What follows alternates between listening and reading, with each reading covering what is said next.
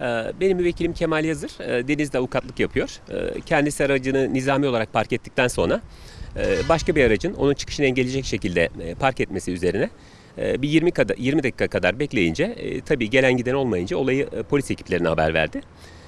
Devamında vatandaş gelip özür dahi dilemeyip olay yerinden ayrılınca bir toplumsal duyarlılık olması için biz bu davayı açtık ve 1 liralık sembolik bir dava açtık. E, Bu dava sonunda mahkeme birlik incelemesi yaparak e, 1 liralık tazminat da- talebimizi kabul etti. E, tabii burada önemli olan 468 TL'de mahkeme masrafı oldu ve kişinin bu 468 lirayı ödemesine mahkum etti. Ve icra masraflarıyla beraber şu an e, 9 lirayı buldu. E, Denizde trafiğin yoğun olduğu yerlerde bu sorun çok fazla karşılaşılıyor. Biz bir toplumsal duyarlılık olması için e, böyle bir dava açmaya karar verdik. Ve umarım e, diğer e, kişiler de bundan bir mesaj alır ve birbirine saygı olmayı öğrenir. E, Karşıdaki kişi e, olay yerinde meslektaşımıza karşı bir özür dilememesine rağmen e, mahkemede e, özür diledi ama mahkeme bunun biraz geç olduğunu söyledi. E, Şu an icra aşamasında e, ve bu 1 lira 9 lirayı buldu.